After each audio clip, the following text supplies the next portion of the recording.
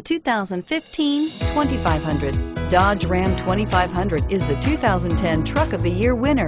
It is the hardest working truck in tow business and is priced below $50,000. This vehicle has less than 200 miles. Here are some of this vehicle's great options. Remote engine start, stability control, traction control, air conditioning, front, power steering, cruise control, passenger airbag, security alarm, compass, power windows. Like it online, you'll love it in your driveway. Take it for a spin today.